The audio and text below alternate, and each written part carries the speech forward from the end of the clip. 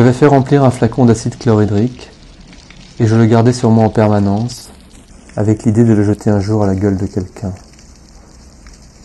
Il me suffirait d'ouvrir le flacon, un flacon de verre coloré qui avait contenu auparavant de l'eau oxygénée, de viser les yeux et de m'enfuir.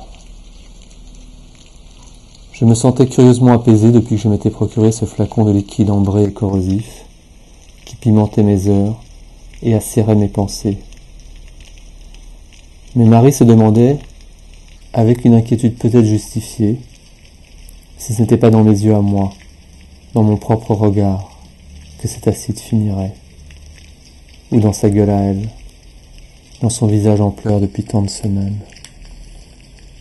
Non, je ne crois pas, lui disais-je avec un gentil sourire de dénégation. Non, je ne crois pas, Marie. Et de la main, sans la quitter des yeux, je caressais doucement le galbe du flacon dans la poche de ma veste. Nous ne disions rien dans ce taxi qui nous reconduisait au grand hôtel de Shinjuku, où nous étions arrivés le matin même. Et Marie pleurait en silence à côté de moi. Elle reniflait et octait doucement contre mon épaule. Elle essuyait ses larmes à grands gestes brouillons du revers de ses doigts. De lourdes larmes de tristesse qui l'enlaidissaient et faisaient couler le maquillage de ses cils.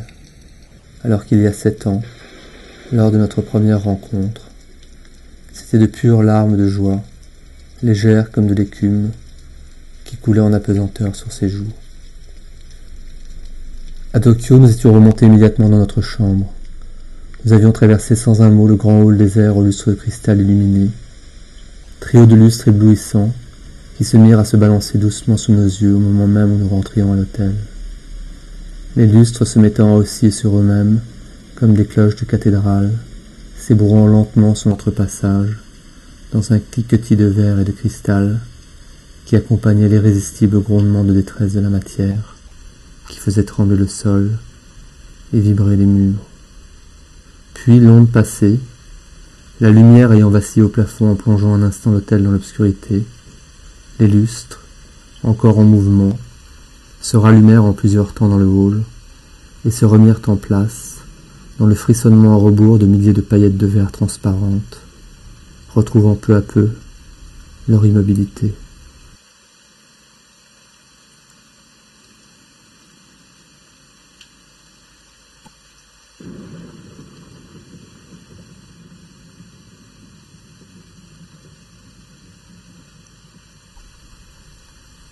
La réception de l'hôtel était déserte, l'ascenseur désert, qui montait lentement dans la nef centrale de l'atrium, et nous tenions silencieux dans la cabine transparente, côte à côte, Marie en pleurs, son manteau de cuir noir et son pull sur un bras, regardant les lustres qui n'en finissaient pas de se stabiliser, au terme de ce séisme de si faible magnitude, que je me demande si ce n'était pas que dans nos cœurs qu'il s'était produit. Le couloir de l'étage était silencieux, interminable, moquette beige, plateau de room service abandonné devant une porte, avec des vestiges épars de repas, une serviette de guingois jetée à travers une assiette sale. Marie marchait devant moi, les épaules lasses, les bras sans force, laissant traîner une main à côté d'elle sur les murs du couloir. Je la rejoignis devant la porte et introduisis la carte magnétique dans la serrure pour entrer dans la chambre. Et à chaque fois, ces deux soirs, à Paris et à Tokyo, nous avions fait l'amour. La première fois, pour la première fois, et la dernière, pour la dernière.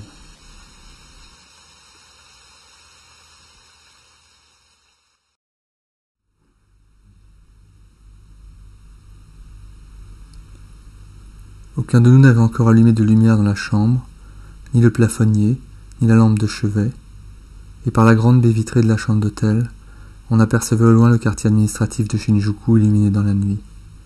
Avec tout près de nous, presque méconnaissable en raison de la proximité qui en déformait les proportions, le flanc gauche du monumental hôtel de ville de Kenzotange.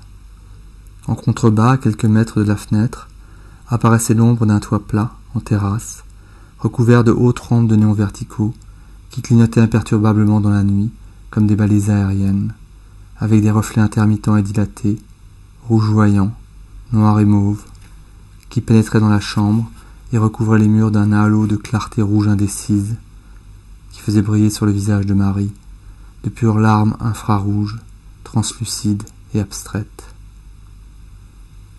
Elle s'était avancée le long de la baie vitrée, les yeux mouillés que je devinais dans la pénombre, la blancheur immaculée de son chemisier qu'elle avait entr'ouvert, comme irradiée à intervalles réguliers, d'une nappe de cette clarté sanguine indicible que recouvraient les bouffées régulières des néons qui clignotaient devant nous sur les toits.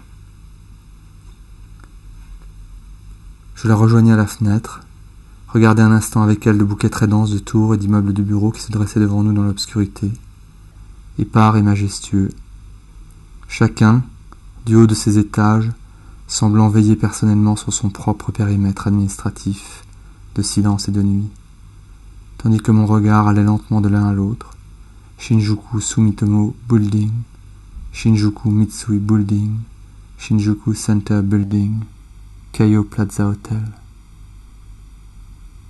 Pourquoi tu ne veux pas m'embrasser me demanda alors Marie à voix basse, le regard fixe, au loin, avec quelque chose de buté dans le visage. Je continuais de regarder dehors sans répondre. Au bout d'un moment, d'une voix neutre, étonnamment calme, je répondis que je n'avais jamais dit que je ne voulais pas l'embrasser. Alors pourquoi tu ne m'embrasses pas dit-elle, en s'approchant de moi pour me prendre l'épaule. Je me raidis, repoussai sa main le plus doucement possible, et me remis à regarder fixement le quartier dans la nuit. Je répondis de la même voix calme, presque atone, comme un simple constat. Je n'ai jamais dit non plus que je voulais t'embrasser. C'était trop tard, Marie. C'était trop tard maintenant.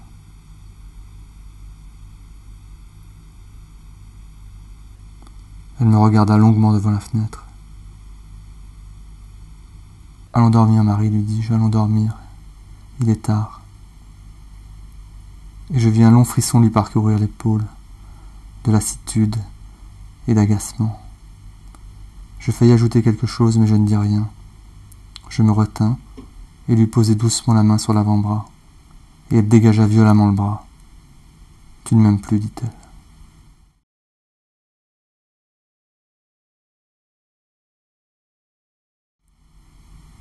Derrière la fenêtre de la chambre, les néons continuaient de déchirer la nuit en de longues lueurs rougeâtres intermittentes, qui pénétraient la pièce et venaient se mêler à la pâle lumière dorée de la lampe de chevet.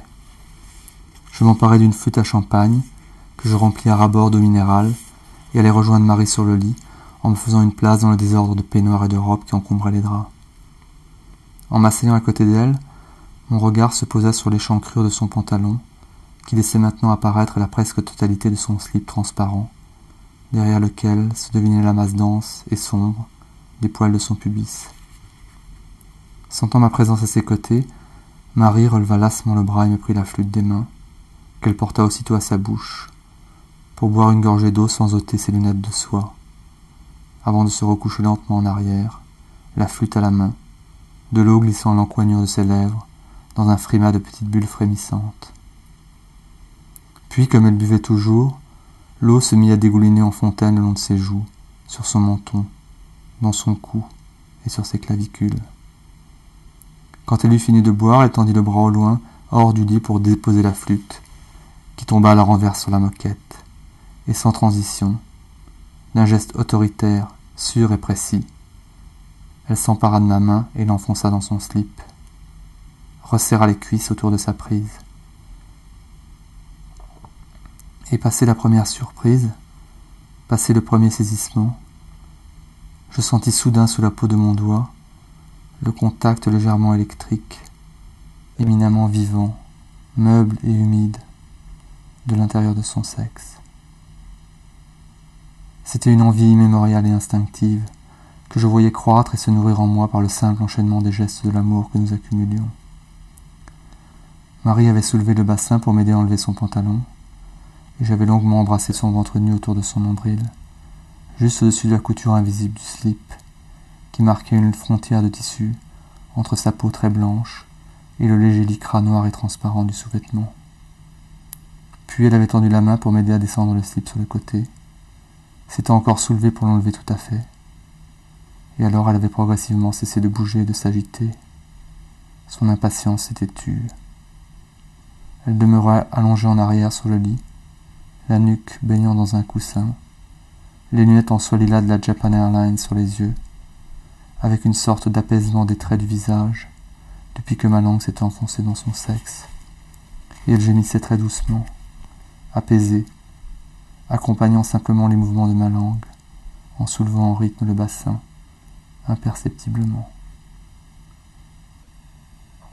Lentement, j'étais remonté avec la bouche tout au long de son corps, m'attardant sur son ventre et sur ses seins, dépassant la fine frontière de dentelle de son soutien-gorge noir, qui était resté attaché dans son dos, mais dont j'avais descendu précautionneusement les balconnets, de sorte que ses seins, délivrés du corset de dentelle, tombaient dans mes mains et se mouvaient très mollement sous mes doigts.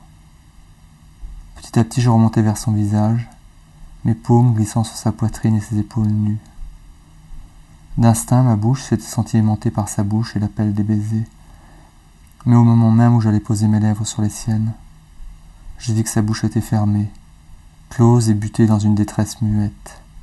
Ses lèvres pincées, qui n'attendaient nullement ma bouche, crispées dans la recherche d'un plaisir exclusivement sexuel.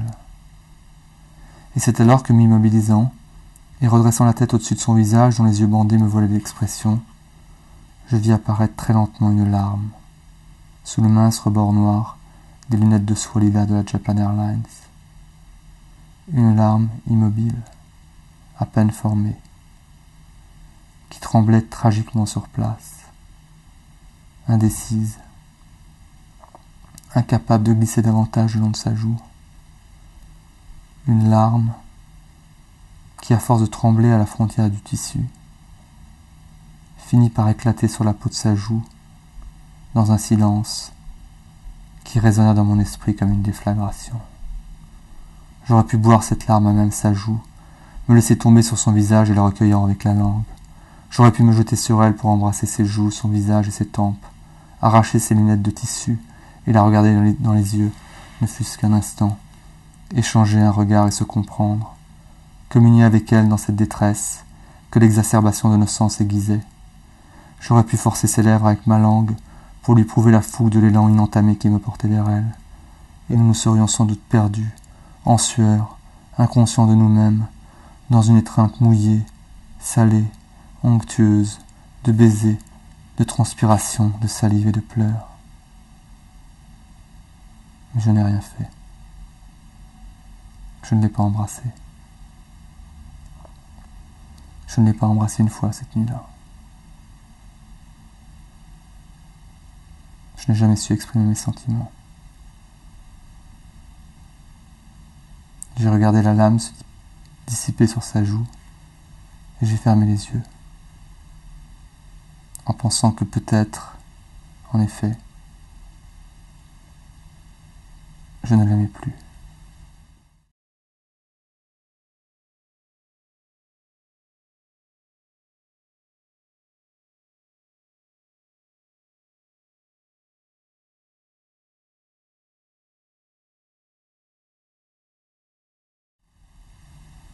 Il était tard, peut-être plus de trois heures du matin, et nous faisions l'amour. Nous faisions lentement l'amour dans l'obscurité de la chambre, que traversaient encore de longues traînées de lueurs rouges et d'ombres noires, qui laissaient sur les murs de fugitifs traces de leur passage. Nue dans mes bras, chaude et fragile dans le lit de cette chambre d'hôtel, au plafond de laquelle passaient de fugaces filaments de lueur de néon rouge, je l'entendais gémir dans le noir, à mesure que je bougeais en elle. Mais je ne sentais guère ses mains contre mon corps, ses bras s'enroulaient autour de mes épaules. Non, c'était comme si elle évitait soigneusement tout contact superflu avec ma peau, tout attouchement inutile, toute jonction entre nos corps autres que sexuels, car seul son sexe semblait participer à notre étreinte, son sexe chaud que j'avais pénétré et qui bougeait de façon presque autonome. Âpre et hargneuse, avide, tandis qu'elle serrait les jambes pour enfermer ma verge dans les taux de ses cuisses et se frottait éperdument contre mon pubis, à la recherche d'une jouissance que je la sentais prête à conquérir de façon de plus en plus agressive. J'avais le sentiment qu'elle se servait de mon corps pour se masturber contre moi, qu'elle frottait sa détresse contre mon corps, pour se perdre dans la recherche d'une jouissance délétère, incandescente et solitaire, douloureuse comme une longue brûlure, et tragique comme le feu de la rupture que nous étions en train de consommer. Et c'était sans doute exactement le même sentiment qu'elle devait éprouver envers moi, car moi aussi, depuis que notre bras le corps était devenu cette lutte de deux jouissances parallèles, non plus convergentes mais opposées, antagonistes, comme si nous disputions le plaisir au lieu de le partager. J'avais fini par me concentrer comme elle sur une recherche de plaisir purement onaniste. Et à mesure que l'étreinte durait, que le plaisir sexuel montait en nous comme de l'acide, je sentais croître la terrible violence sous-jacente de cette étreinte.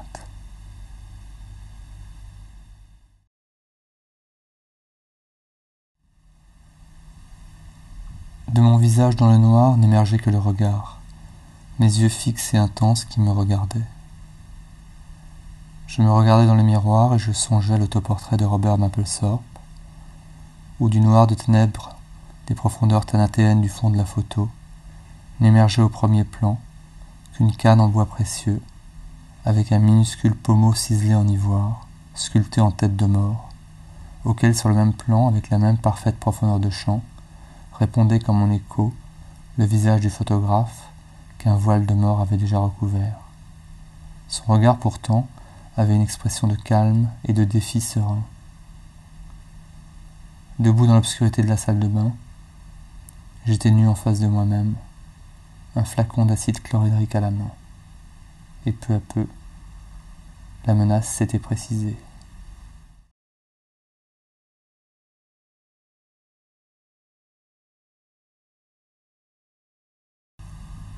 Mais où étais-je? Et qu'était cette sinistre pénombre mauve que traversaient les longs faisceaux de ce phare de malheur aux reflets noirs et rouges? Étais-je revenu dans la chambre? J'étais assis à côté d'elle, le flacon d'acide chlorhydrique ouvert à la main, et c'était ça qui puait, l'odeur âcre de l'acide.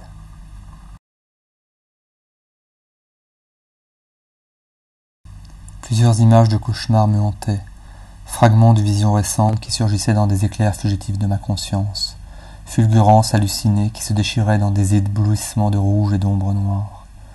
Moi nu dans les ténèbres de la salle de bain, qui jetais de toutes mes forces l'acide chlorhydrique à la gueule du miroir, pour ne plus voir mon regard.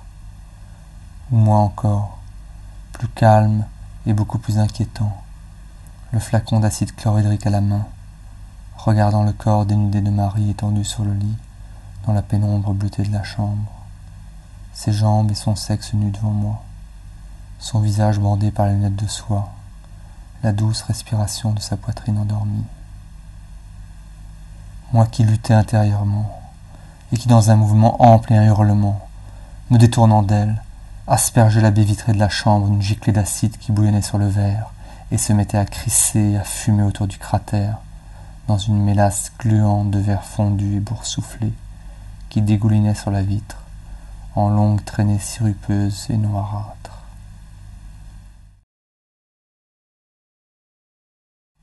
Vue de haut pendant la nuit, la Terre semble parfois retrouver quelque chose de sa nature d'origine, davantage en accord avec l'état sauvage de l'univers primitif, proche des planètes inhabitées, des comètes et des astres perdus dans l'infini des espaces cosmiques.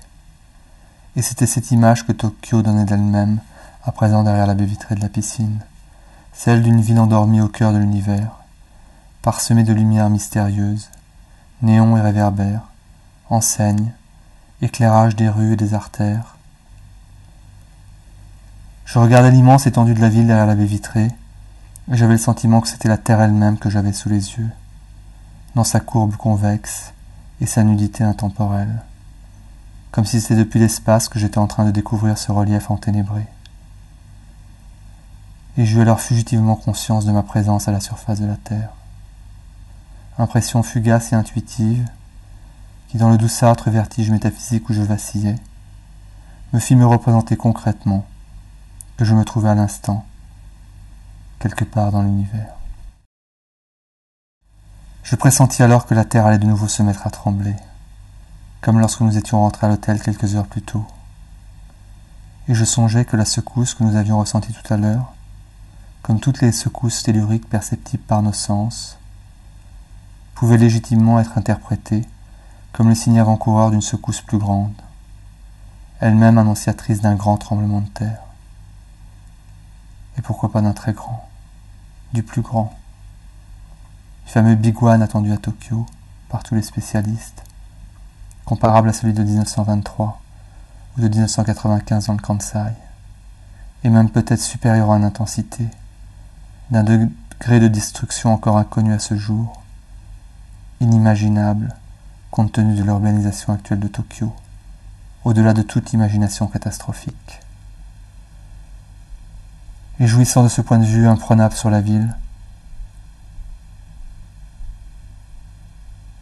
je me mis alors à l'appeler de mes voeux ce grand tremblement de terre tant redouté souhaitant dans une sorte d'élan grandiose qu'il survint un instant devant moi, à la seconde même, et fit tout disparaître sous mes yeux, réduisant la Tokyo en cendres, en ruines et en désolation, abolissant la ville et ma fatigue, le temps et mes amours mortes.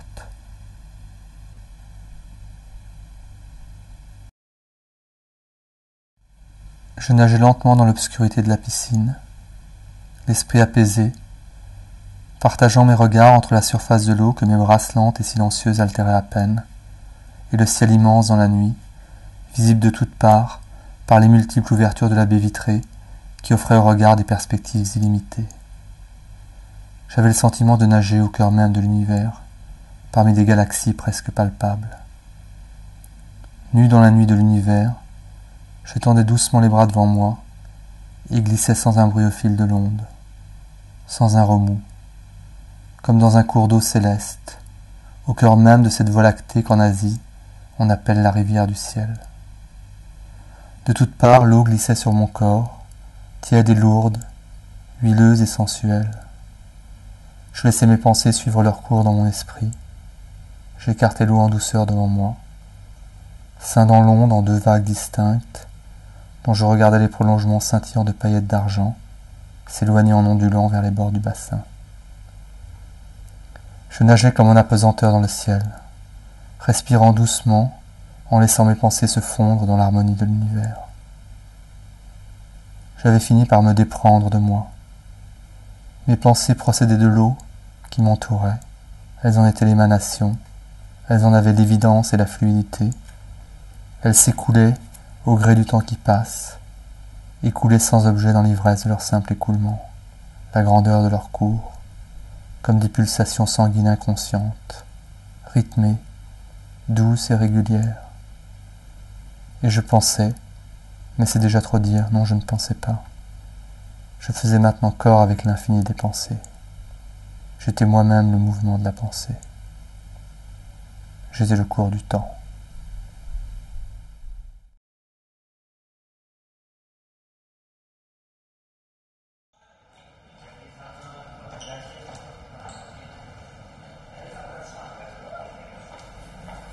Nous passâmes les portes vitrées coulissantes qui s'ouvrirent automatiquement sur notre passage, et nous retrouvâmes dans l'air frais de la nuit sur le perron désert. Un taxi était garé à une dizaine de mètres de là, et nous attendîmes vaguement son arrivée, en regardant autour de nous, mais il ne vint pas à notre rencontre. Tout simplement parce que le chauffeur dormait. Nous en rendîmes compte quelques instants plus tard, découvrant son corps allongé dans la pénombre, le siège rabattu en arrière. Nous pressâmes le pas pour descendre les quelques mètres du chemin privé de l'hôtel et traversâmes la rue en courant la main dans la main. Enjambâmes un minuscule parapet pour passer de l'autre côté de la chaussée, nous faufilant entre les branches d'un bosquet en nous écorchant les cheveux aux arbustes. Sans cesser de courir, j'avais enfilé le manteau de Marie, beaucoup trop petit pour moi, et j'avais pris Marie par l'épaule pour la réchauffer. La manche du manteau de cuir remontait sur mon avant-bras et m'étranglait les selles. Marie se blottissait contre moi, la tête contre ma poitrine, de sorte que nous ne formions plus qu'un seul corps bicéphale, étroitement imbriqué. Nous descendîmes au petit trot les escaliers d'une grande passerelle métallique, qui faisait office d'écluse urbaine, séparant les différents palais de la ville, pour se trouver à un niveau plus bas, dans une avenue tout aussi fantomatique et déserte, qu'éclairait une rangée de réverbères, qui traçait dans la nuit une ligne de lumière blanche piquetée. Arrivé en vue du Cayo Plaza Hotel, dont l'entrée était illuminée de blanc et d'or, nous bifurquâmes dans une rue sombre, et laissant peu à peu le Shinjuku des grands hôtels et des immeubles de bureaux derrière nous, nous gagnâmes un quartier plus animé, avec davantage de commerces et de petits restaurants, des courettes dans le noir, des lanternes et des idéogrammes aux enseignes, quelques caissons lumineux éteints dans la pénombre. Parfois nous passions devant les néons blancs et roses d'une boîte de nuit ou d'un bar à hôtesse, où une grappe de personnes discutait devant l'entrée, grande rousse vêtue d'un immense ciré rose, en mini-jupe et lèvres pâles, deux hommes émaciés en costume trois pièces en conciliabule à ses côtés, et plus loin, dans l'ombre, désœuvré près des poubelles, la maigre silhouette d'un vieil homme sandwich, dégarni et pensif, une pile de prospectus à la main. À mesure que nous avancions, le quartier s'animait et se transformait. Il y avait de plus en plus de bars et de néons, des voitures qui roulaient au ralenti le long des trottoirs déserts, des odeurs de soupe et de takoyaki, des sex shops, des sous-sols sur lesquels veillaient des rabatteurs et des videurs, petits mecs en costume croisé, ou gros avec des nattes, profils d'estampes et grosses doudounes noires rembourrées. Personne ne prêtait particulièrement attention à notre tenue. Nous nous fondions dans la nuit et les excentricités de chacun, pas plus extravagants que d'autres. Marie vêtut une robe de collection à vingt mille dollars, toute simple, le dos nu, deux coups de crayon, le fuselage en soie noire et une hélice ventrale, qu'elle portait avec une simplicité confondante, lunettes noires sur le nez et simule rose de l'hôtel.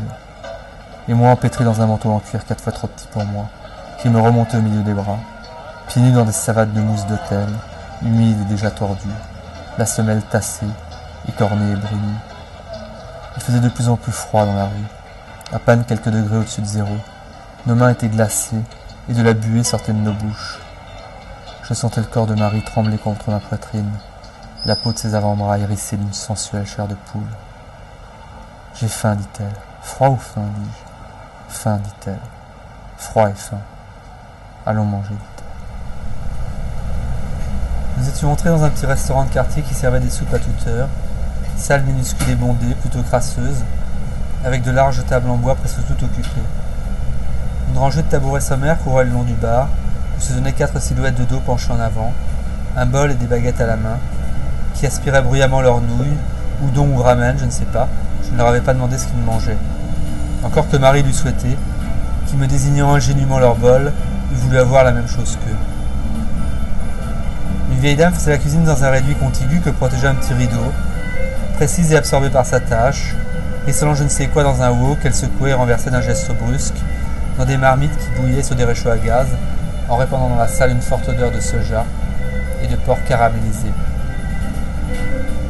Nous avions commandé des soupes que j'avais choisies au hasard sur la carte, en désignant du doigt les idéogrammes les plus appétissants, vieil homme chaussé de soc, qui était venu prendre la commande, à la fois courtois, taciturne et indifférent. Il avait déposé sur notre table une minuscule serviette blanche tiédasse dans un plastique fripé. Il nous avait servi à chacun un verre d'eau en carafe avant de repartir. Arrivé à l'hôtel, épuisé hors d'elle, Marie, une liasse de fax et de courrier électronique à la main, avait joint au téléphone les différents responsables de son voyage, chacun se confondant en excuses, mais se renvoyant la responsabilité du malentendu. Pour finir, en voyant tout le monde paître, Marie avait dit qu'elle allait dormir et qu'elle ne voulait plus être dérangée avant le lendemain matin. Mais le lendemain matin, c'était maintenant. C'était précisément maintenant, mon amour. Et malgré mon immense fatigue, je me mis à espérer que le jour ne se lève pas à Tokyo ce matin, ne se lève plus jamais, et que le temps s'arrête là à l'instant dans ce restaurant de Shinjuku où nous étions si bien, chaudement enveloppés dans l'illusoire protection de la nuit. Car je savais que l'avènement du jour apporterait la preuve que le temps passait, irrémédiable et destructeur, et avait passé sur notre amour.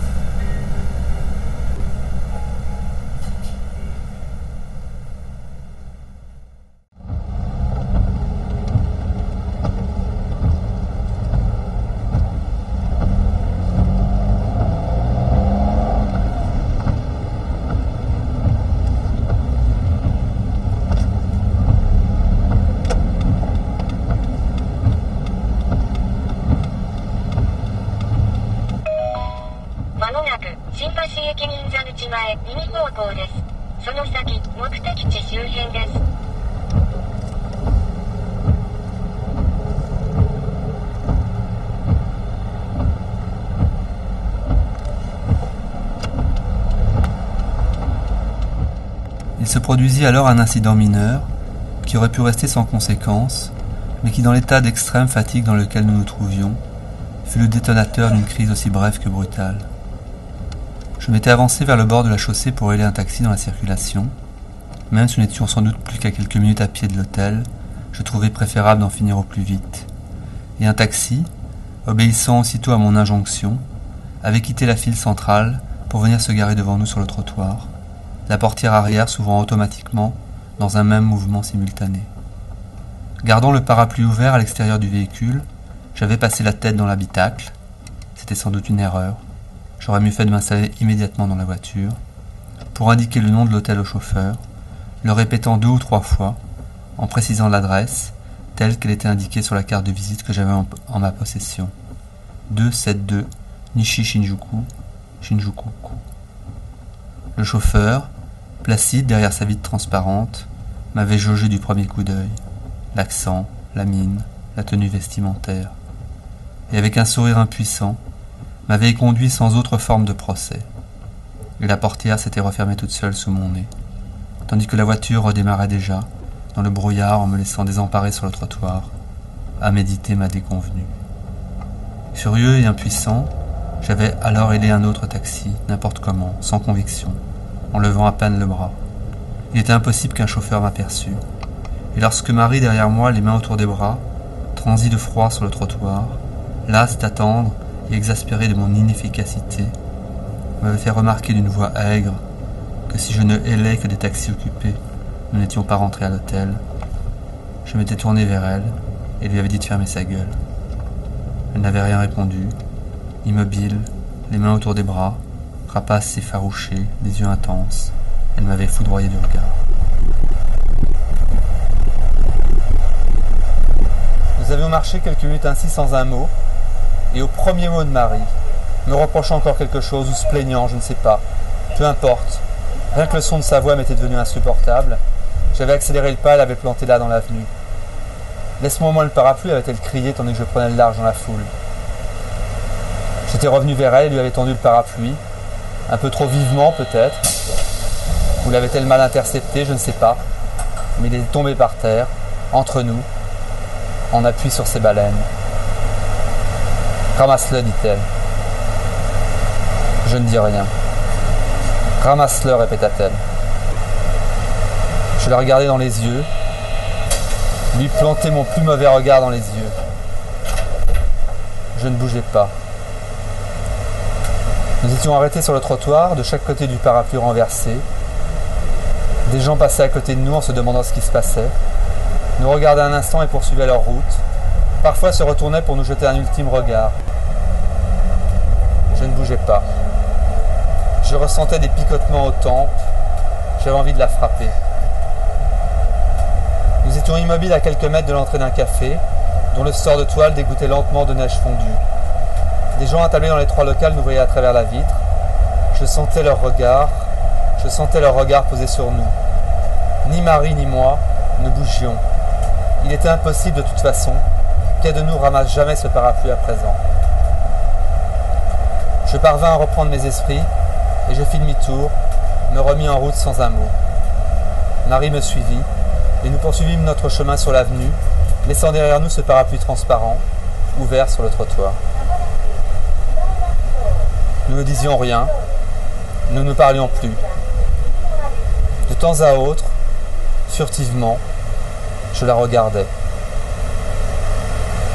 Peu importe qui était dans son tort, personne sans doute. Nous nous aimions, mais nous ne supportions plus. Il y avait ceci maintenant dans notre amour, que même si nous continuions à nous faire dans l'ensemble plus de bien que de mal, le peu de mal que nous nous faisions nous était devenu insupportable.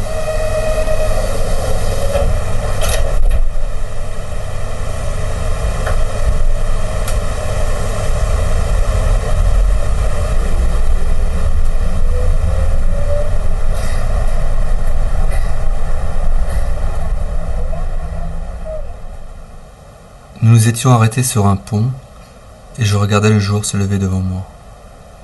Le jour se levait, et je songeais que c'en était fini de notre amour.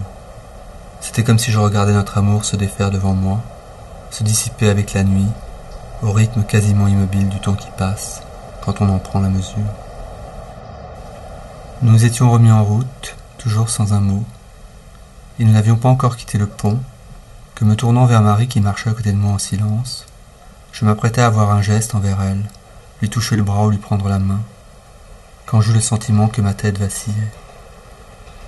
Et dans le prolongement même de ce vertige, le grondement d'un train invisible commença à tout faire trembler sur son passage, en secouant bruyamment les grillages métalliques du parapet du pont, qui se mirent à trembler de bas en haut à côté de moi, dans des gerbes d'étincelles bleuâtres et des éclairs de feu, que je vis soudain sortir de la boîte d'un générateur qui implosa sur place dans une épaisse fumée noire qui se mit à s'élever sur les voies ferrées, où un train lancé à pleine vitesse freinait en catastrophe pour essayer de s'arrêter. Tandis que dans le rapide regard circulaire que je jetais derrière moi sur le pont, au milieu des lumières des lampadaires qui vacillaient, je vis les passants qui tanguaient, comme sur le pont d'un navire soulevé par une vague énorme, brève et violente, certains perdant l'équilibre et luttant pour garder leur trajectoire en accélérant comme s'ils se précipitaient à la poursuite de leur parapluie, d'autres s'accroupissant, la plupart s'arrêtant sur place, comme figés, paralysés, se protégeant la tête avec un bras, avec leurs serviettes, leurs mallettes. Et ce fut tout. Ce fut absolument tout. Ce ne fut rien d'autre. À peine trente secondes, une minute plus tard, passé un moment de panique et d'attente très dense, où il ne se passa plus rien et où personne ne bougeait. Chacun se regardait, un cartable tombé par terre ici et là, encore accroupi, livide, mouillé de neige, encore prêt à se protéger, à se recroqueviller davantage, s'attendant au pire, à une réplique immédiate, beaucoup plus forte peut-être. C'était la deuxième fois que la terre tremblait en quelques heures, et cela pouvait reprendre à tout instant. La menace était désormais permanente. Les gens se relevèrent peu à peu et s'éloignèrent, se dispersèrent sur le pont, tandis qu'un chien invisible aboyait au loin, dans le matin grisâtre. Et Marie, dans un cri étouffé, se précipita dans mes bras et se mit à trembler de tous les membres. Nous fîmes quelques pas, hagards, les vêtements mouillés, avec nos pantoufles tordues et nos chaussettes en laine blanche assorties, et nous trouvâmes refuge dans un renfoncement du pont, une sorte de niche arrondie qui menait à un escalier de secours métallique très abrupt qui descendait vers les voies ferrées. Marie pleurait. Elle pleurait contre moi. Elle était secouée de sanglots. Elle se blottissait de toutes ses forces dans mes bras, les membres tremblants, mouillés de larmes et de neige. La peur extrême qu'elle avait ressentie, la fatigue, l'épuisement, l'exacerbation de tous ses sens depuis le début de la nuit, se traduisit alors par un besoin irrépressible de réconfort, une brûlante envie d'union des corps et d'abandon. Marie dans mes bras, en pleurs, la robe mouillée, les cheveux mouillés, approchait ses lèvres très près de ma bouche et me demandait en tremblant pourquoi je ne voulais pas l'embrasser. Et la gardant dans mes bras, je répondais à voix basse en lui caressant les épaules et les cheveux pour l'apaiser, que je n'avais jamais dit que je ne voulais pas l'embrasser, que je n'avais jamais dit ça. Mais je ne l'embrassais pas. Je ne me penchais pas vers elle pour l'embrasser et la caresser, la calmer et l'empêcher de pleurer. Et c'est toujours la même question et la même réponse, exactement le même dialogue que quelques heures plus tôt à l'hôtel. Et ce fut avec la même véhémence, la même détresse dans la voix, qu'elle s'écria de nouveau en relevant la tête vers moi. Mais pourquoi tu ne m'embrasses pas alors? Je ne répondis pas. Je ne savais que répondre. Je me souvenais très bien de la réponse que je lui avais faite alors, mais je ne voulais pas lui dire maintenant que je ne voulais ni l'embrasser, ni ne pas l'embrasser. Après les instants dramatiques que nous venions de vivre, elle aurait bondi, elle se serait révoltée. Elle m'aurait frappé, elle m'aurait griffé le visage. Dans la détresse qu'il avait jetée dans mes bras, c'était la chaleur de mon corps qu'il était venu chercher, pas la souplesse de ma dialectique. Il n'en avait rien à foutre de mes mots et de mes raisonnements. Ce qu'elle voulait, c'était un élan du cœur, l'élan de mes mains et de ma langue, de mes bras autour de ses épaules, mon corps contre son corps. Je n'avais pas compris ça. Et pourtant, Dieu sait combien j'avais envie de l'embrasser maintenant. Et tellement plus maintenant que nous nous séparions pour toujours que la première fois que je l'avais embrassée.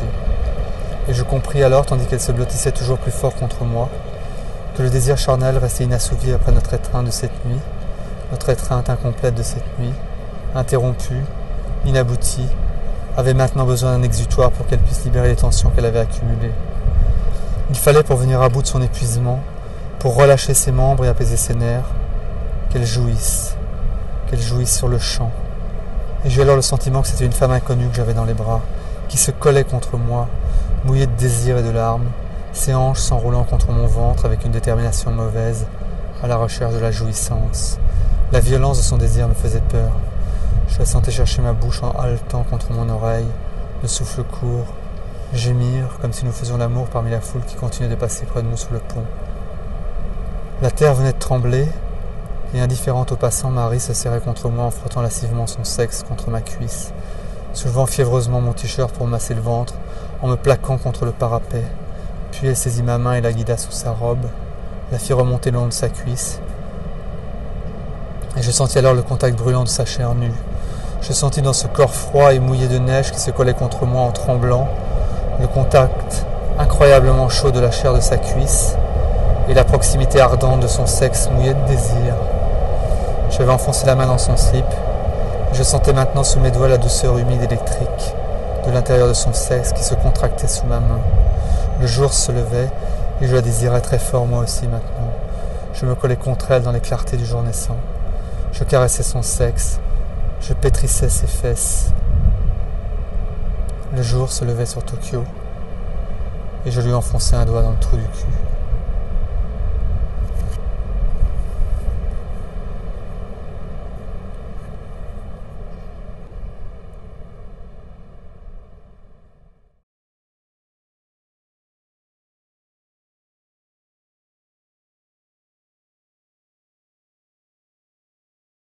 De retour à l'hôtel, je nous revois au petit matin traverser fugitivement le grand hall déjà bruissant d'hommes d'affaires pour rejoindre les ascenseurs, la peau rougie de froid, la robe de Marie froissée et à moitié écorchée à la cuisse. Dans l'état de fatigue et de délabrement physique que nous avions atteint, nous nous sommes immédiatement laissés tomber tout habillés sur le lit. Il faisait jour, et une grisaille affreuse de lendemain de nuit blanche régnait dans la chambre. Marie avait fait couler un bain chaud et attendait qu'il se remplisse allongé sur le lit, les yeux ouverts, épuisé, sans bouger, sans parler. Notre fatigue était telle que nous avons failli entrer tous les deux dans la baignoire quand le bain fut coulé. Mais après une brève altercation dans la salle de bain, plutôt facétieuse et comique, un balai de gestes tendres et somnambuliques sur le carrelage, nous sommes partagés les lieux, Marie a pris la baignoire et j'ai choisi la douche. La tête levée, les yeux fermés, je laissais couler une eau tiède sur mon corps meurtri, endolori de froid, mon corps de naufragé qui retrouvait peu à peu une température normale.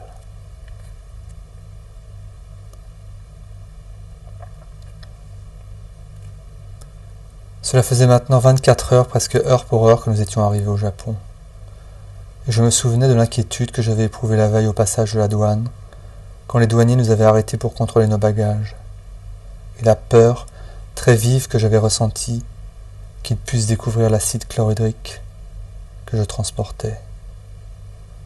Mon cœur battait très fort chaque fois que le douanier désignait un nouveau bagage sur un de nos chariots et nous priait de l'ouvrir. Et dans cette caisse-là, qu'est-ce qu'il y a? demandait-il d'un simple geste, sans un mot. Adresse, dit Marie. Please open, dit le douanier.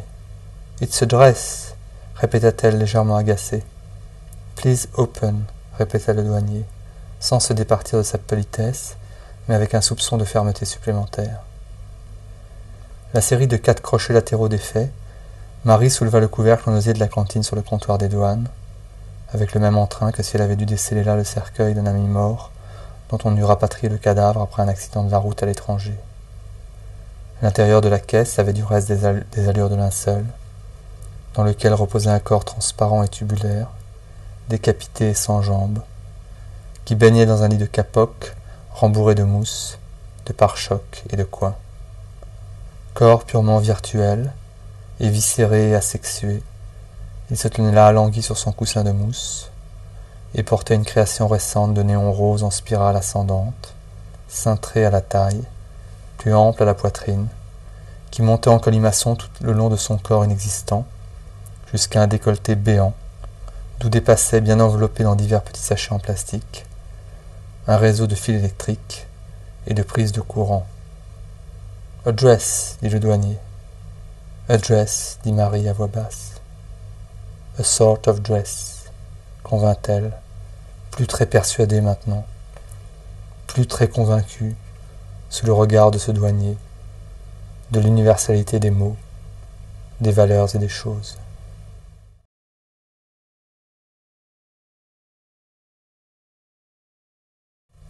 Les bagagistes s'étaient présentés à la porte de notre chambre, et Marie les avait fait entrer. Deux jeunes employés de l'hôtel en livrée noire et boutons dorés, une petite toque noire sur la tête qui leur donnait des allures de fusiliers marins. Je finis par me lever, et les croisant dans la chambre d'une démarche mal assurée, je me rendis dans la salle de bain. Mon visage, dans le miroir, était méconnaissable. Les paupières et les pommettes bouffies, congestionnées, les yeux minuscules, à peine ouverts, qui lançaient un regard étonné et absent, pas sympathique, pas même attendrissant, presque méchant. Mes lèvres étaient sèches et croûteuses, craquelées, ma langue blanche et pâteuse, les joues parasées, le cou piqueté de poils gris et noirs, drus, épars. Je regardais ce visage dans le miroir, je regardais ce visage déjà vieux et pourtant mien. Et c'est un état qu'il est des plus étranges de devoir associer à soi-même, la vieillesse, ou tout du moins la fin incontestable des caractéristiques de la jeunesse, lisibles sur les traits de son propre visage.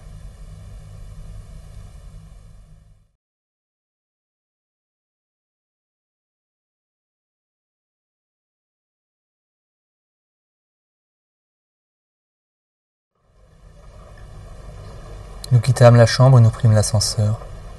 Nous étions côte à côte dans l'étroite cabine de verre transparente qui descendait au cœur de l'atrium de l'hôtel, je regardais les lustres immobiles dans le hall, trois lustres d'une amplitude spectaculaire, trois à quatre mètres d'envergure et près de huit à dix mètres de haut.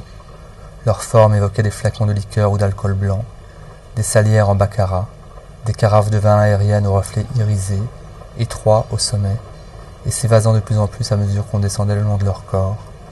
Pour devenir presque rond à la base, enveloppé, féminin. Et malgré la rigueur de leurs lignes, leur éclat avait quelque chose de fluide et d'aquatique. Et c'était peut-être à des gouttes d'eau géantes finalement qu'il faisait le plus penser. Ou à des larmes, mon amour. Trois gigantesques larmes de lumière étincelante qui pendaient là en suspension dans le hall de l'hôtel, dans un poudroiement de paillettes et de nacre. Je n'avais pas de perspective. Qu'avais-je à faire ces jours-ci à Tokyo? Rien. Rompre. Mais rompre. Je commençais à m'en rendre compte. C'était plutôt un état qu'une action. Un deuil qu'une agonie.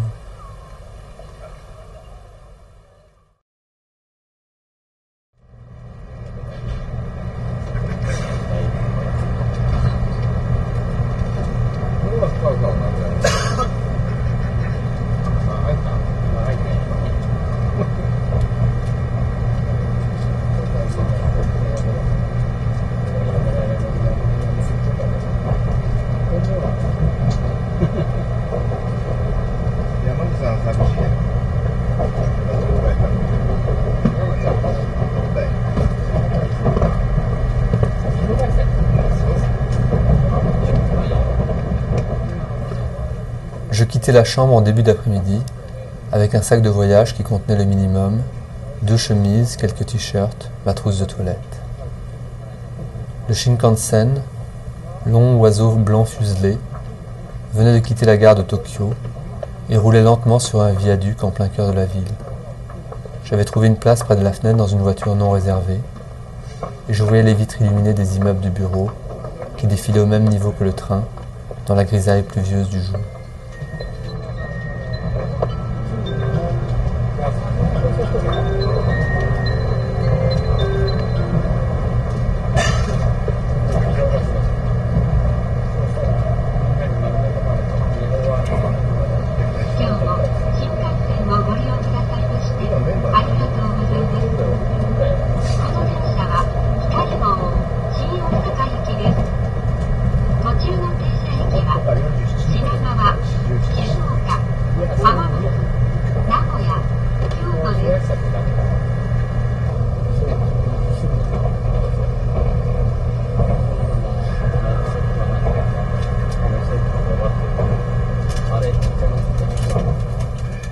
Train avait pris de la vitesse.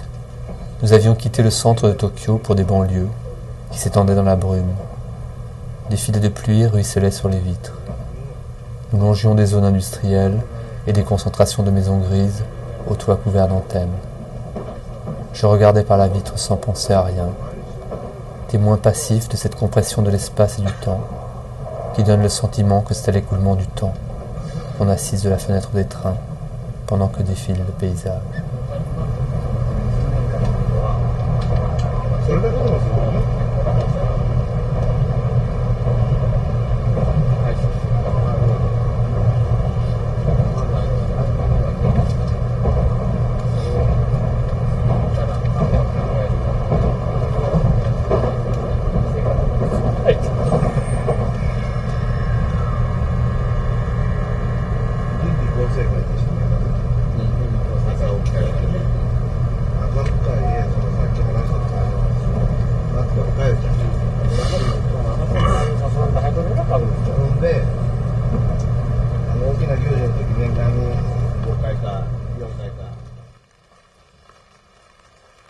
À l'arrivée du train à Kyoto, je descendis sur le quai, regardai autour de moi, hésité.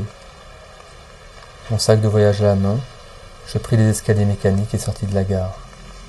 Je ne savais où aller. Je cherchais un téléphone à pièces et en trouvai un dans une cabine aux portes mal conçues, qui s'ouvrait vers l'intérieur. Je me faufilai entre les battants, que je laissai se refermer dans mon dos, posai mon carnet sur la plaque de métal des annuaires, et composai le numéro de Bernard. J'entendis le faible roulement des sonneries au loin dans le combiné, et au bout d'un moment, je perçus qu'on décrochait. Aussitôt je reconnus la voix de Bernard, qui parlait toujours à voix basse, posément, comme un chuchotement feutré permanent, ce qui donnait un grand pouvoir de persuasion à ses propos, si on les entendait.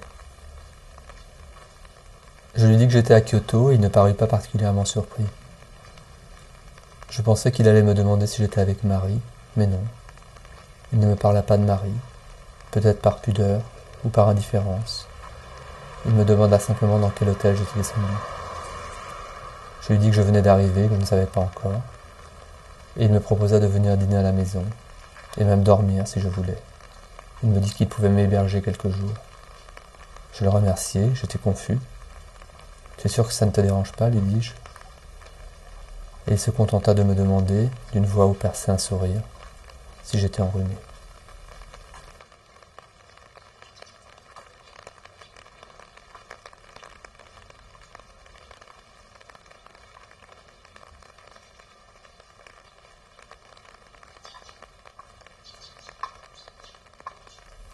Bernard habitait une maison japonaise traditionnelle, en bois, à un étage.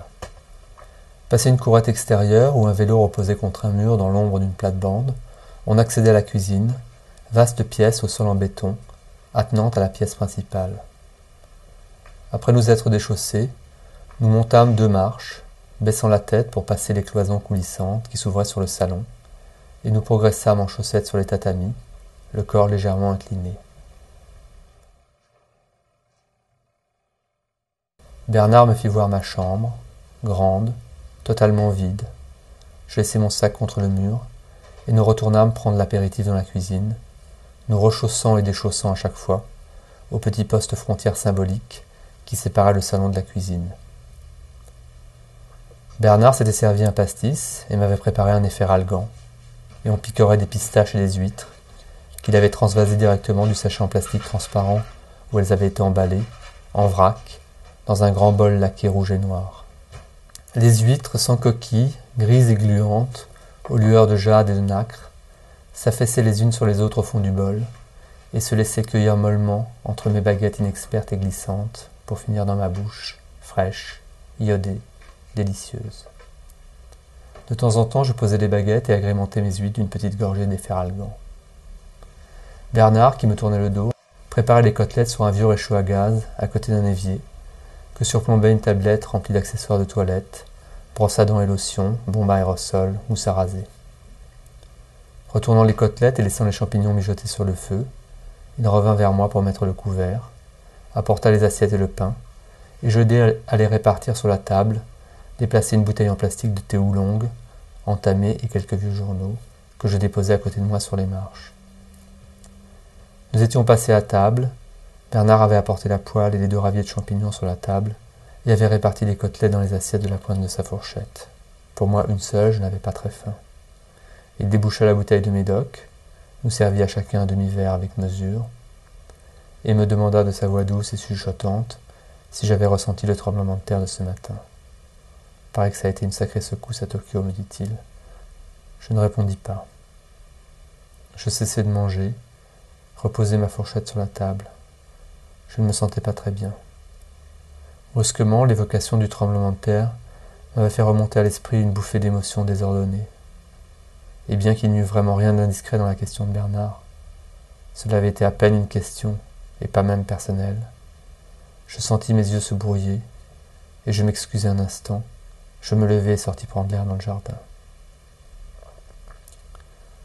Peut-être si Bernard m'avait demandé d'entrer des nouvelles de Marie, dans la rue, quand on s'était retrouvés, ou maintenant, pendant le dîner, je lui aurais simplement répondu qu'elle avait été retenue à Tokyo, et nous en serions probablement restés là. Nous n'en aurions pas parlé davantage. J'aurais même été réticent à en dire plus s'il avait continué à m'interroger sur le sujet.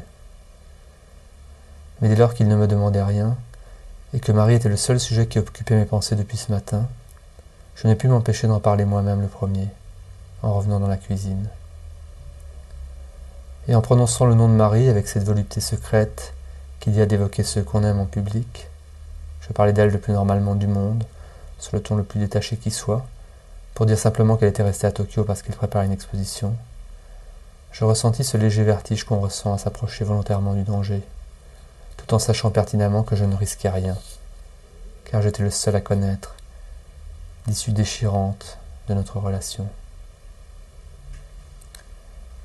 Je demandai à Bernard si je pouvais envoyer un fax, et Bernard, posant ses couverts sur la table, disparut dans le salon pour aller me chercher une feuille de papier de quoi écrire. Il revint dans la cuisine et me tendit un bloc de papier et un pinceau, par facétie, avec un sourire prudent, si d'aventure je voulais calligraphier mon fax. Je souris et pris le pinceau. Oui, pourquoi pas, dis-je. J'écartai mon assiette sur un coin de la table, et m'emparant du pinceau, je me mis à tracer maladroitement mon message en épaisses lettres d'encre noire. Je relus une dernière fois le message, qui avait des allures de lettres anonymes de corbeau, avec ses grandes lettres noires tracées au pinceau. Marie, je suis à Kyoto chez Bernard. Ne m'attends pas. J'allais prendre un stylo sur son bureau et je signai le message. Barrer l'eau de la feuille avec le numéro de la chambre, room 1619. Et je glissai la feuille dans l'appareil, composai le numéro de télécopie de l'hôtel et envoyai le fax. Je songeais alors en regardant tristement la feuille disparaître dans l'appareil, que si Marie n'était pas à l'hôtel maintenant, à son retour, elle trouverait la sinistre annonce You have a fax, please contact the central desk qui brillerait sur l'écran bleu du téléviseur de la chambre vide. Le lendemain, je me réveillai dans une maison silencieuse. J'étais couché sur un futon au milieu d'une pièce vide et inconnue, aux couleurs naturelles et passées, pas et je respirais difficilement.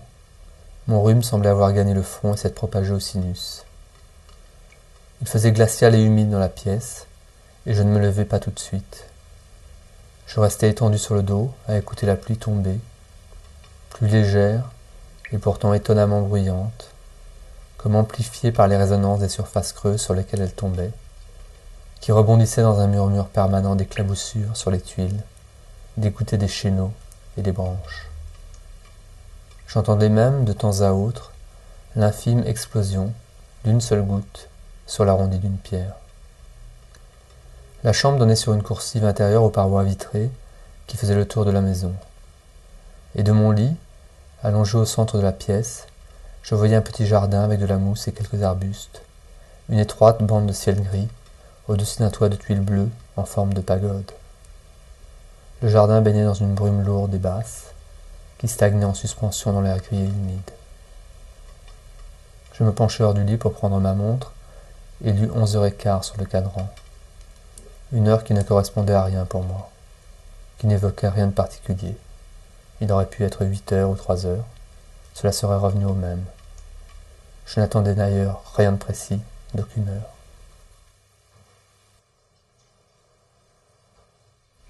Je ne quittais pas la maison ce jour-là. Après une prudente visite d'inspection au premier étage, en caleçon et t-shirt sans faire de bruit dans les escaliers, un rapide coup d'œil dans la chambre de Bernard pour m'assurer qu'il n'y avait personne, une pause plus longue dans son bureau, où j'avais distraitement passé un doigt sur les papiers qui traînaient sur la table, j'étais redescendu me faire du café. J'avais traîné dans le salon à lire de vieilles revues, assis par terre sur la natte, une couverture sur les épaules. Parfois j'éternuais, et je détachais un fragment de papier d'un rouleau de sopalin pour me moucher. Je me sentais mal, j'avais des frissons. J'avais fini par me retourner me coucher, fiévreux, les membres engourdis. Les heures passaient. Il cessa de pleuvoir, je me rendormis, je me réveillai. Je ne savais plus très bien. Je ne faisais rien de particulier, je ne quittais pas la chambre, je transpirais, le front chaud, l'esprit vide. Je me complaisais dans cet état de faiblesse et de fièvre. Je restais des heures au lit sous l'épaisse couverture du futon bien enroulé autour de mes épaules. Je savourais la fragilité de ma poitrine, l'apathie de mes membres. Je me réfugiais au fond de l'édredon pour m'imprégner de sa douceur et de sa chaleur. Je me levais parfois, chancelant jusqu'à la cuisine pour me faire du thé, que je buvais brûlant dans mon lit pour conjurer les frissons. Je mangeais du minuscule quartier de pommes je pelais sans force dans la chambre en déposant les plus épluchures à côté de moi dans une soucoupe. Je me levais pour aller faire pipi, la verge froncée, endolorie, fragile, comme fiévreuse elle aussi. Je grelottais pieds nus dans la coursive, retournais rapidement me coucher et m'enroulais sur les couvertures pour me réchauffer. Je prenais ce refroidissement comme une fatalité, un luxe, une expérience. Je ne m'habillais pas de la journée, je ne me rasais pas, je rêvassais dans le lit, les yeux au plafond, je me recroquevillais sous la couette. Je somnolais quelques minutes. Je me préparais des médicaments effervescents que j'avalais en grimaçant. Je tâchais d'extraire de mon corps affaibli et souffrant des voluptés inconnues, des sensations inédites, même si en matière d'agrément d'essence, je continuais de préférer les caresses de l'eau ou les douceurs des femmes, au subtil raffinement du rhume et de la fièvre, auxquels j'essayais vainement d'initier mon corps endolori. Les heures étaient vides, lentes et lourdes. Le temps semblait s'être arrêté. Il ne se passait plus rien dans ma vie. Ne plus être avec Marie, c'était comme si après neuf jours de tempête, le vent était tombé. Chaque instant avec elle était exacerbé, affolant, tendu, dramatisé. Je sentais en permanence sa puissance magnétique, son aura, l'électricité de sa présence dans l'air, la saturation de l'espace dans les pièces où elle entrait. Et maintenant plus rien. Le calme des après-midi, la fatigue et l'ennui, la succession des heures.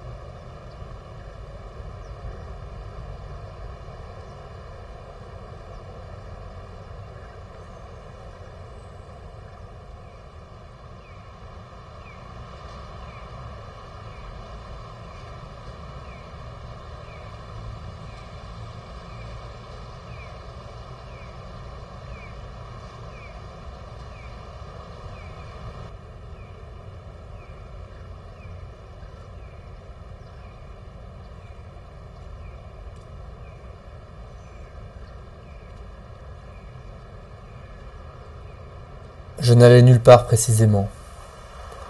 Parfois, à un carrefour, je m'arrêtais pour consulter le plan, et je poursuivais ma route le long de ce qui me semblait être Higashioji. Long boulevard gris en courbe, pollué et bruyant, embouteillé de camions et de bus, qui roulaient au pas, bloqués dans la circulation, une touche d'orange à leur fronton à côté d'un numéro, d'un idéogramme mystérieux et d'une destination, Kyoto Station, Ginkakuji. Je venais de rejoindre les abords du vieux canal, et j'avais commencé de le longer, quand je reconnus avec émotion la silhouette rouge orangée du sanctuaire Hayan, dont le portique se dressait au loin parmi les arbres. De ma vie, je n'avais jamais vu une telle nuance de rouge. Cette couleur indéfinissable, ni rose ni vraiment orange, ce rouge dissous, crémeux, exténué, le vermillon du soleil couchant de certaines nuits d'été, quand l'astre rond à l'horizon, pâle et jetant ses dernières lueurs orangées, s'enfonce lentement dans la mer, au-dessus d'un ciel bleu clair presque laiteux. traverser la rue et me diriger vers le grand bâtiment de pierre, aux allures de bibliothèque ou d'université, du musée municipal des beaux-arts de Kyoto. Mais les portes étaient fermées, condamnées par des grilles, et je n'assistais pas. J'entrai dans une cabine téléphonique et appelai Marie à Tokyo. Ce n'était pas la première fois que j'essayais de la joindre à l'hôtel. J'avais déjà essayé plusieurs fois de chez Bernard, mais elle n'était jamais là. Je tombais toujours sur un réceptionniste de l'hôtel qui me passait sa chambre où la sonnerie résonnait interminablement dans le vide. Cette fois-ci encore, après un bref échange en anglais avec le réceptionniste, j'entendis les sonneries se succéder dans le vide, et je m'apprêtais de nouveau à renoncer quand j'entendis décrocher.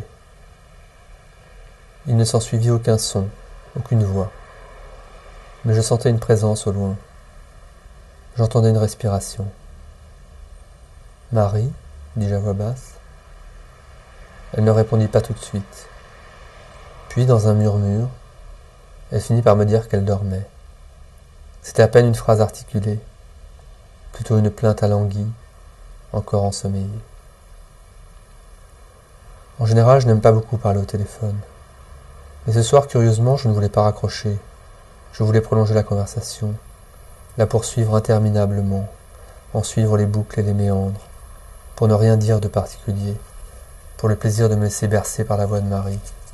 Et nous continuons à échanger quelques mots à voix basse dans le noir, moi debout dans la cabine téléphonique, et Marie dans son lit, qui n'avait sans doute pas allumé la lumière, peut-être même pas la lampe de chevet sur la table de nuit.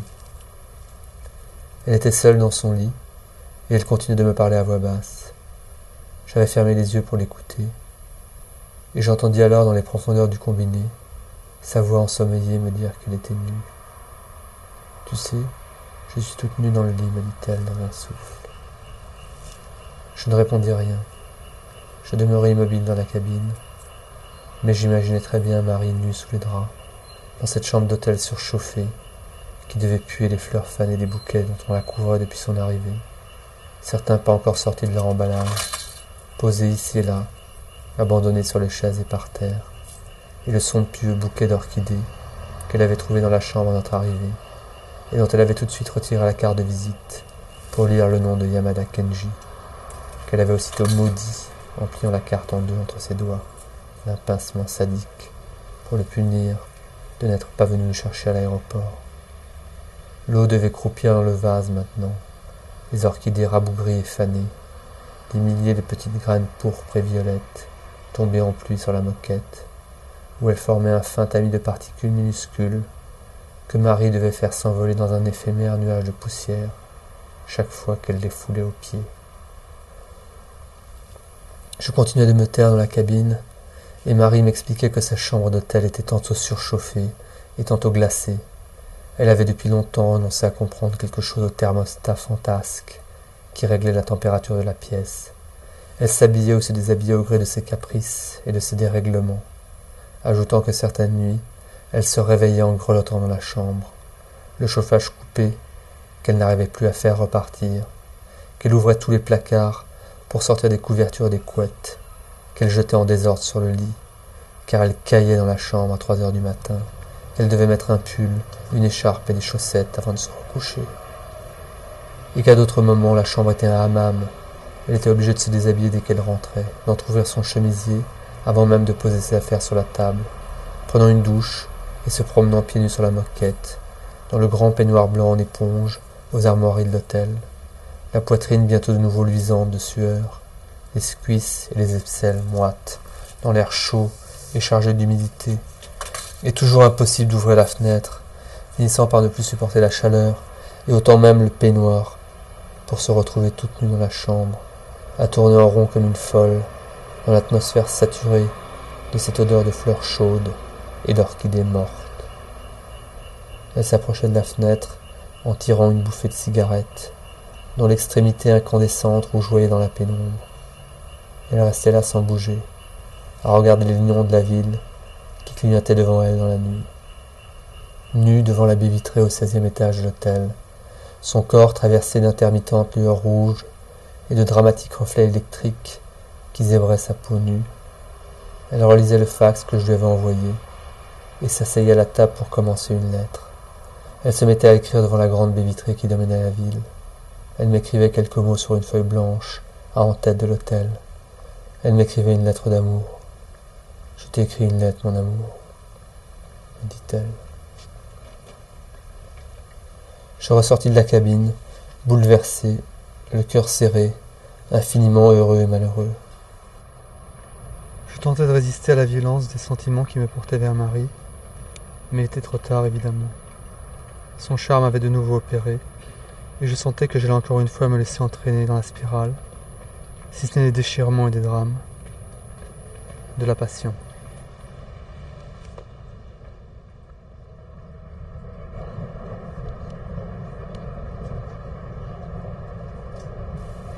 Je rentrais à Tokyo le soir même. Je n'avais trouvé de place assise que dans un compartiment fumeur, et au bout de quelques minutes, j'eus un malaise.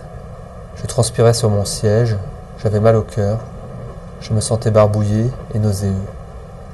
Je me levai et me rendis aux toilettes que je fermais à clé, et aussitôt, avant même de m'être penché vers la cuvette, je sentis ma poitrine se soulever et être prise par un violent haut le cœur.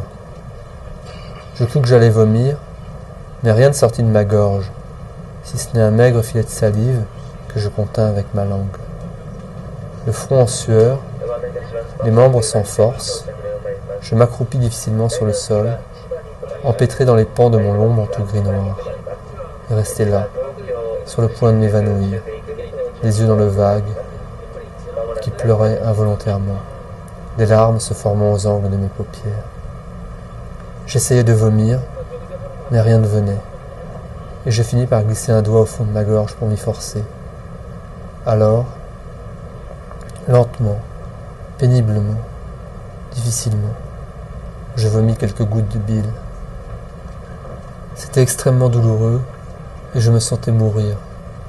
Je sentais la proximité physique et concrète de la mort au contact du métal froid de la cuvette.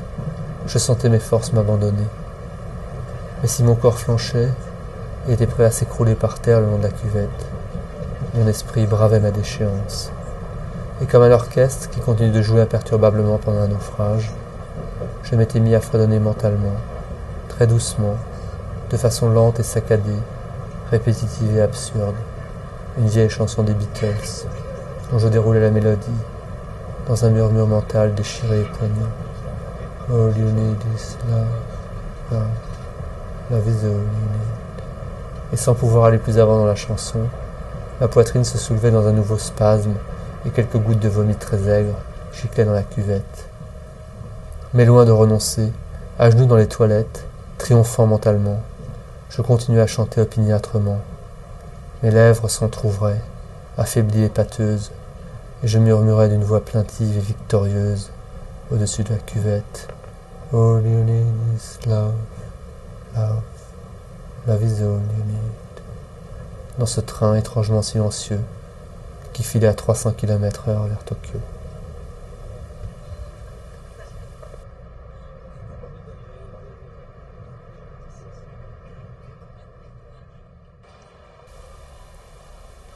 En descendant du train, je me mis tout de suite en quête d'un téléphone. Je trouvai un appareil public sur le quai et j'appelai Marie à l'hôtel. Je fermai les yeux pour mieux me concentrer et entendre la voix de Marie lorsqu'elle décrocherait. Mais les faibles sonneries que j'entendais au loin se succédèrent en vain dans le récepteur. Marie n'était pas à l'hôtel. Je raccrochai pensivement, descendis les escaliers et sortis de la gare. Je marchai quelque peu au hasard dans les rues de Tokyo, finis par héler un taxi. Il s'arrêta quelques mètres plus loin en bordure du trottoir. Je vis la porte s'ouvrir automatiquement à mon intention. Je pressai le pas et montai dans la voiture, pris place sur la banquette arrière. Shinagawa, dis-je. Contemporary Art Space de Shinagawa.